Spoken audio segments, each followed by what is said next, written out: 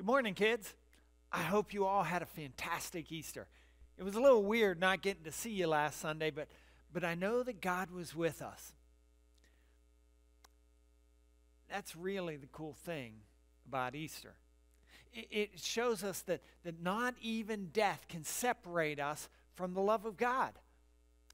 Well, today, today our Bible story talks about when the disciples decided to go fishing while they were waiting for Jesus to come back to them after he was resurrected on, on Easter morning. So I thought, I thought maybe, maybe you'd like to go fishing with me while, while I tell you the story. So on the count of three, let's get our fishing gear and let's get to the water. You ready? One, two, three. Wow! That was fast, wasn't it? Well, like the story goes, uh, after Jesus was raised from the dead, he showed himself to a lot of people. And, and, he, and he told his disciples to go to Galilee and wait for him there. Well, while they were waiting, Peter decided to go fishing. And the other disciples said, Hey, we're coming too. Well, they went out in a boat way out there and, and they fished all night and they never caught a single fish.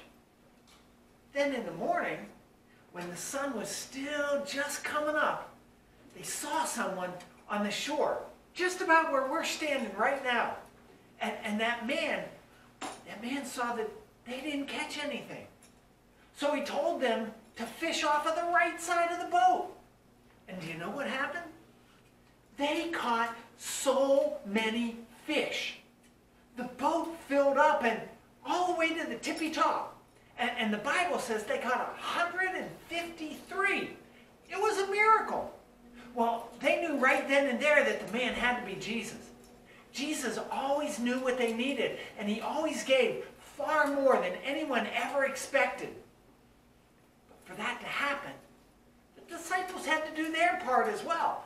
They had to listen to what Jesus was telling them to do. They had to fish off of the right side of the boat. I think that's important for us to remember. God blesses us all the time. Sometimes, like now when we can't go to school or play with our friends, it's hard to see God's blessings.